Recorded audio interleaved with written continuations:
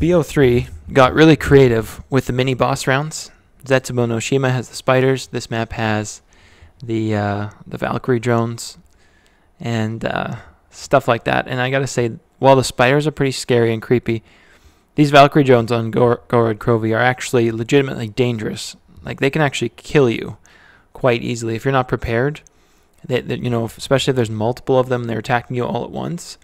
And if you don't have Juggernaut, you know, one maybe two hits will kill you from these things. And and they have these uh, dodge attack like defense moves where they actually will dodge your like like that. They just roll out of the way, so it makes it even harder to kill them.